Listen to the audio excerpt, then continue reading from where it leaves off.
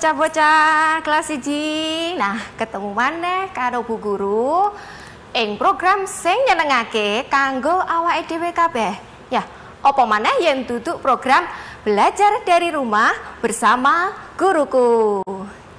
Nah, sinau dino iki bakalan dibaturi Bu Guru selama telung puluh menit nengarep.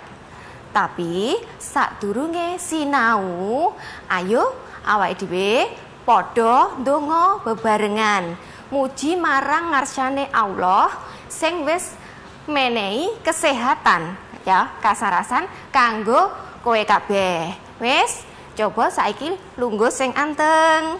Nah, ditata lungguhe sing bagus-bagus sing ayu-ayu ndonga sing kusuk. Dipimpin Bu Guru saka kene. Yo. Ndonga mulai.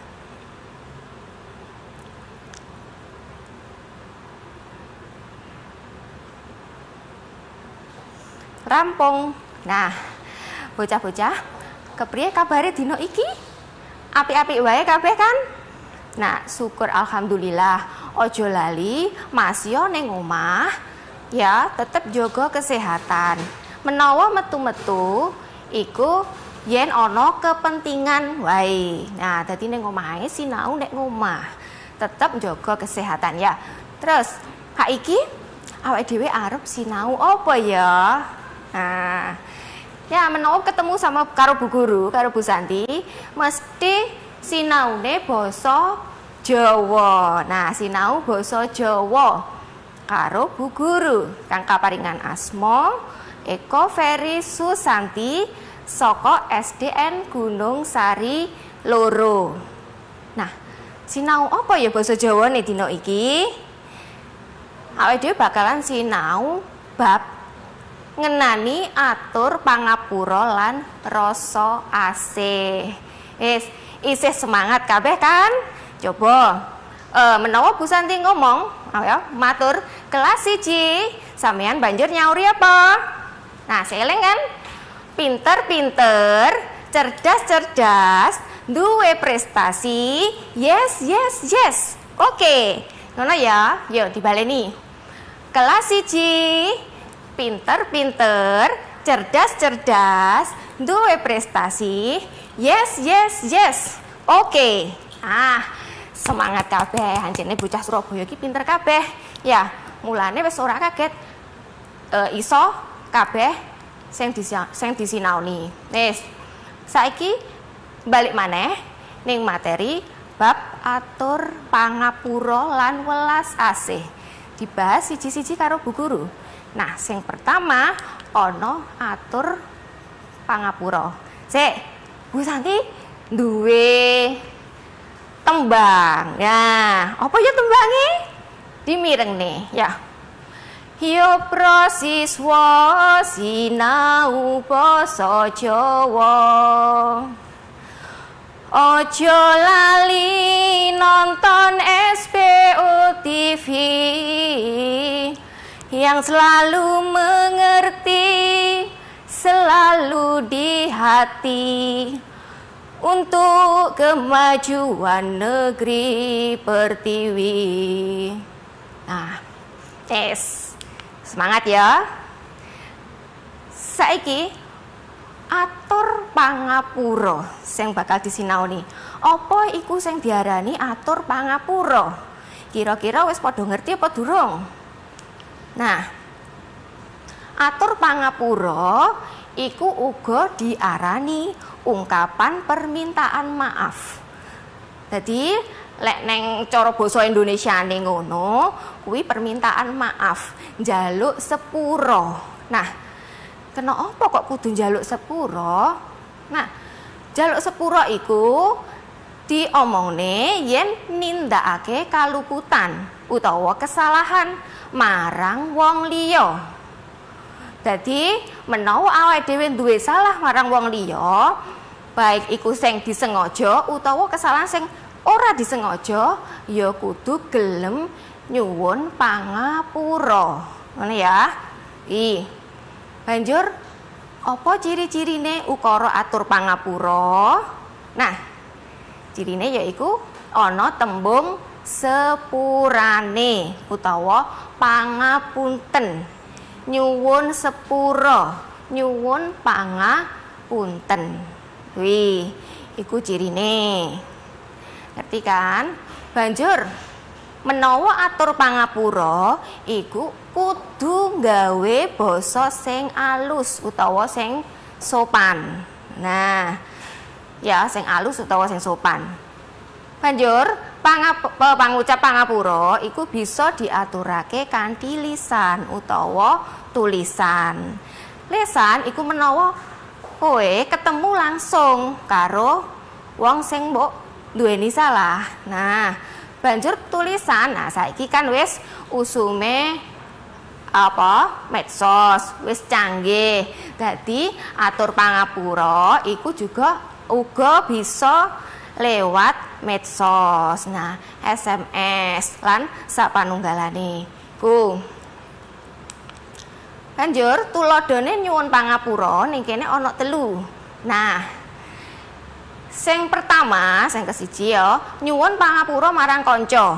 Nah tuladhane iku ana pacelaton antarane Andaru karo Dayu. Andaru ngomong Dayu sepurane aku budal dhisik ya banjur Dayu mangsuli. Iya Andaru disio nah iku yen ngomong karo kanca. Tulodo sing nomor loro yaiku nyuwun pangapura marang wong sing luweh tuwa. Nah ning kono ana gambar. Tulodone ana Fitria karo Mase Mas Dika. Nah Fitria ngomong nyuwun pangapunten Mas kula ngrusakake ngrusakne mobil-mobilan Mas Dika. Ora sengaja ngrusakne mobil-mobilan Kang Mase. Banjur Fitria yo atur pangapura. Sabanjure Fitria atur pangapura, Mas Dika, Mas Dika mangsuli. Iya Fit, aja dibaleni ya. Nah, Mas Dika ora nesu, tapi mangsuli iyo lan melingi ojo dibaleni. Es nah sing ketelu nyuwun mangapura Pak marang bapak utawa ibu. Tulodone nah ini ki Wahyu. Ibu nyuwun pangapunten kula dolan. Banjur ibu mangsuli iya le sing ngati-ngati yo nah kaya kuwi mau tuladhane atur pangapura. Wis, aja ning ngendi-ngendi dhisik, tetep ning panggone lungguh ya. Mari ngene diterusake malah sinau bareng karo Bu Guru. Tetep ing program belajar dari rumah bersama guruku. siapa yang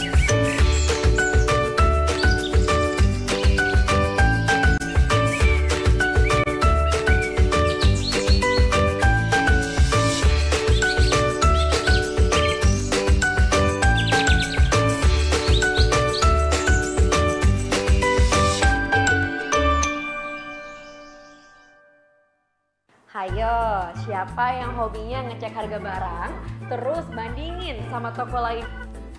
Kita sama ya?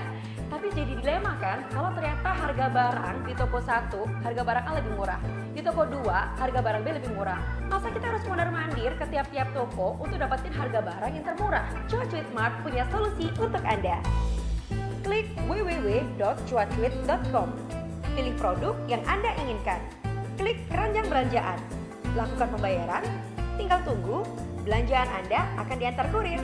Mudah, cepat, cukup belanja dari rumah.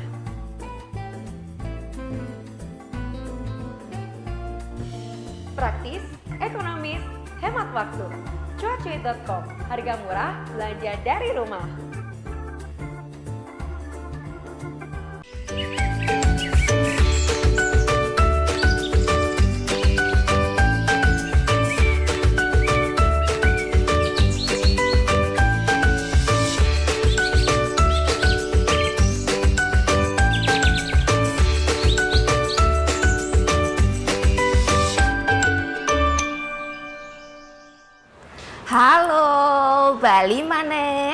Bu Guru sinau bareng basa Jawa.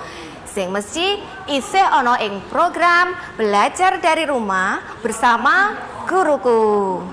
Nah, lanjut sinau bab atur pangapura.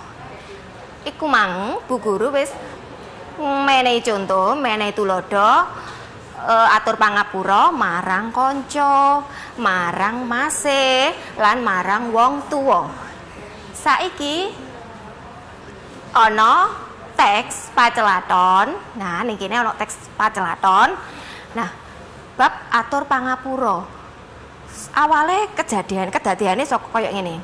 Ora sengaja Sinta nyenggol buku cerita lan nyenggol banyu ngombene Aldo. Buku ceritane teles. Nah, dadi Sinta wedi. Nah, saking keweden banjur ana pacelaton antarane Sinta, Aldo lan e, kancane sitoke Luna. Nah, kaya apa pacelatone? Timireng nih. Nah, Sinta ya. Sepurone Al, aku ora sengaja. Banjur Aldo mangsul mangsuli ora opo-opo sin. Saiki ayo ing Luna njaluk sepuro. Amarga bukune kena banyu. Nah, Sinta banjur ngomong, "Iya Al, tapi aku wedi Luna nesu karo nangis Sinta ngomong karo nangis Bang, banjur Aldo mangsuli maneh mengko ditukokne wae bukune tapi saiki ayu ning Luna nah iya Al nah Sintane sing maune wedi banjur gelem moro ngomong menyang gone Luna nah Aldo ngomong mana? Luna, sepulrane yo, iki mau bukumu kena banyu. Banjur teles. Menawa rusak, mengko tak ijoli. Tak tukokne buku kaya iki yo. Nah, banjur Sinta karo nangis banter ngomong eh, marang Luna. Sepurane Lun, aku ora sengaja. Nah, karo nangis banter mergo keweden terus Luna mangsuli iya sin ojo nangis ora popo mengko bukune yo garing nah ya Sarehno Luna ngomong koyok ngono kuwi banjur atine Sinta marem nah akhirnya Sinta ngomong matur suwun lun Nah, yes, saka teks yang nih karo bu guru iku mau ana atur pangapura. Ana tembunge atur pangapura. Nah, kira-kira sing ngendi? Ayo. Atur pangapura kang ana teks yaiku sing pertama ya sepurane al aku ora sengaja pangatur pangapura dhisik marang Aldo Nah, siapa sing ngatur pangapura? Oh iya, Sinta. Heeh. Banjur sing nomor loro. Nah, Luna sepurane yo iki mau bukumu kena banyu banjur teles. Iku atur pangapura sing keloro. Nah, sing ketelu apa iki? Sepurane Lun, aku ora sengaja. Dadi ana pira? ana telu sing ning pacelaton kuwi mang. Nah, iki saiki supaya sampeyan luweh dong maneh, luweh ngerti iki Bu Guru ana lagu. Nah, ana tembang, iki tembang basa Jawa, lirike diganti gawe soundtrack lagune eh uh, iki apa iku gambang suling ya, gambang suling. Coba dirungokne ayo nyanyi bareng. Bocah-bocah bisa ngadeg ya, bisa ngadeg kabeh ya. Ngadeg sinambi joget uga bisa supaya supaya ora waleh. Tetep semangat. Yo. Nyanyi bareng-bareng.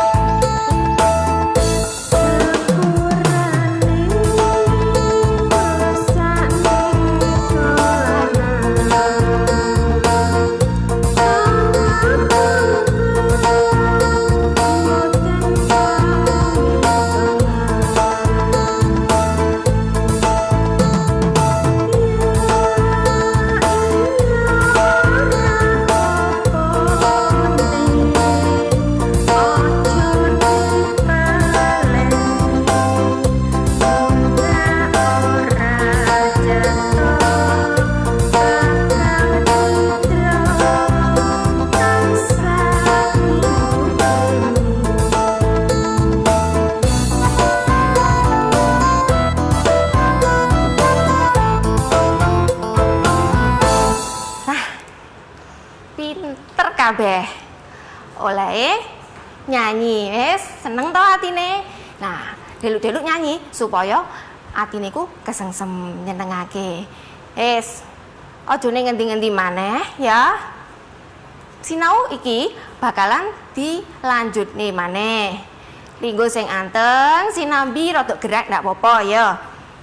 Eh, uh, Yes, nah sing bagus-bagus sing anteng-anteng.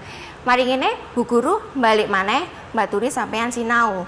Sing mesti tetep ing program belajar dari rumah bersama guruku. Bakwan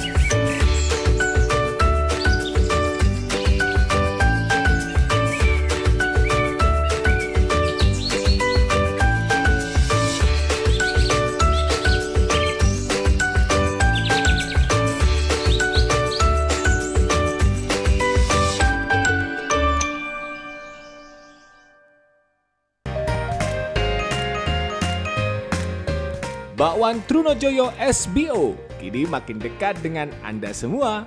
Malas keluar rumah, langsung aja klik. Karena bakwan Trunojoyo SBO bisa Anda nikmati di mana pun. Tinggal order di GoFood dan kelezatan bakwan legendaris Trunojoyo ini bisa manjakan lidah Anda semua. Tunggu apa lagi? Yuk order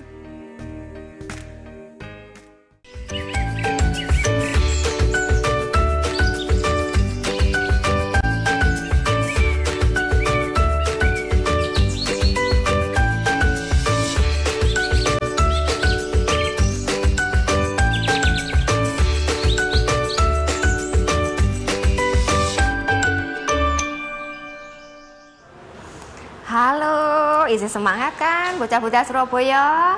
Nah, Bali mana? Cinau bareng karo Bu Guru isih ning program belajar dari rumah bersama guruku. Nah, sak banjure sinau bab atur pangapura saiki awake dhewe ya sinau bab medharake rasa asih. Apa iku medharake rasa asih iku? Nah, medharake. Medharake rasa asih uga diarani ngungkapake rasa tresno. Medharake ku ngungkapake ya. Rasa asih iku padha karo rasa tresno.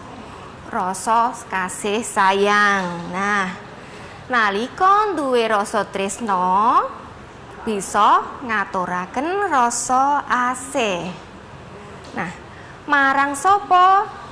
Bisa marang keluargane sing ana ning omah. Ya marang bapak ibu marang Mbak Yune marang adine lan uga bisa marang wong liya. Wis ing omah bocah-bocah mesti tahu ngrasakake rasa asih saka keluargane. Bapak ibu mbak adik kakak ah, masmu mbak yumu iku kabeh mesti sayang karo kowe ya. Nah, pangucap rasa asih iku bisa diaturake kanthi lisan utawa tulisan. Dadi padha kaya atur pangapura mau, bisa lisan lan uga bisa tulisan. Yes. Nah, ning kene ana tulodo medharake rasa asih. Tulodone apa? Nah, si nomor siji iki ono Rini. Nah Rini ngomong Bim ayo tak rewangi ngeringkesi bukumu. Jadi Rini iki Mbak Yune Bimo. Ya kenapa Rini ngomong? Ngono iku mau. Nah gelem ngrewangi adine ngringkesi bukune.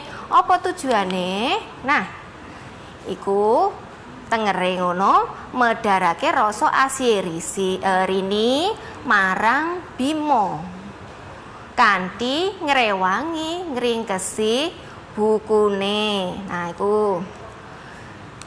Tulodo sing nomor loro iki ana ibu karo Rini. Ibu matur marang Rini. Rin yen kesel lereno dhisik nduk. Nah kenapa ibu kok matur ngono ya Ibu medharake rasa asihe marang Rini kanthi ngutus Rini leren dhisik. Saking sayange gatine ibu marang Rini. Wis iku mau bab medharake rasa asih. Wis bisa kabeh kan? Nah saiki kesimpulan. Apa kesimpulane sinau dina iki mau karo Bu Guru nah kesimpulannya atur pangapura utawa nyuwun sepura iku digunakake menawa awake dhewe duweni kaluputan marang wong liya duwe kesalahan. Nah nah mulane yen duwe kaluputan sing disengaja utawa kaluputan sing ora disengaja ora kena isin ngaturake nyuwun pangapura nah Emoh aku izin. Nah, aja ya kudu nyuwun pangapura. Semono uga menawa ana wong liya sing nyuwun sepura marang awake dhewe, awake dhewe ya kudu menehi sepura. Nah, ora oleh wegah aku menehi sepura. Nah, ora pareng kaya ngono kuwi ya. Saiki cirine atur pangapura yaiku ana tembung sepurane utawa pangapunten. Mang, wis dong kan? Nah, nalika duweni rasa tresno bisa ngaturake rasa asih utawa rasa tresno. Nah, sing ana ning tulodo sing wis dicontone Bu Guru mau ya. Iki mengko sampean ning kene ana tugase. Saiki tugase siap-siap diwenehi tugas karo Bu Guru. Hmm, apa tugase? ya ora adoh-adoh saka materi sing disinaoni dina iki mau. Iki.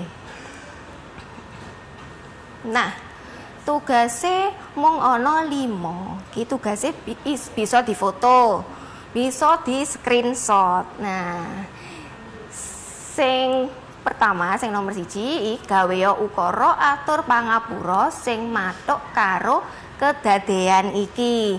Jadi ono kedadean terus sampean wangsulane kuwi diutus ya dikon gawe ukara atur pangapura. Sing nomor siji Kene ora sengaja ngrusakne dolanane Reva. Eh, sanjur beningku mangsuli kepriye? Ditulis. Yang nomor loro, Rate ngilangake garisane Siti. Nah, ora sengaja garisane koncone mari mbok sile terus diilangne karo Rate. Banjur Rate mangsuli piye, ngomong piye, matur piye. Sing nomor telu, Didi lali orang nggawa bukune Dito sing arep dibalekake. Nah, lali ra buku. Padahal wis arep dibalekake. Wis iku wangsulane apa ditulis. Banjur tugasnya sing keloro gawe ukara kang medharake rasa asih. Loro wae tulodone ya. Ditulis. Mangko lek wis mari banjur tugasnya dikumpulne marang bapak lan ibu gurune dhewe-dhewe ning sekolahan ya. Wes. Nah, sinau dina iki cukup semene dhisik ya. Aja lali. Lanjut ya sinau sing sregep ing pandemi kaya ngene iki. Banjur jaga kesehatan. Nah supaya ora kena loro supaya sehat kabeh. Nah iki Bu Guru duweni tembang sing terakhir. Nah dimirengne Saiki wis rampung bocah-bocah aja bingung. Tetep lungguh sing anteng sing ayu tetep sedeku. Ayo padha ndedonga basa Jawa wis purna. Nah wis mari sinaune basa Jawa dina iki. Mangko ketemu maneh ing wayah sing luwih nyenengake. Tetep ing program belajar dari rumah bersama guruku.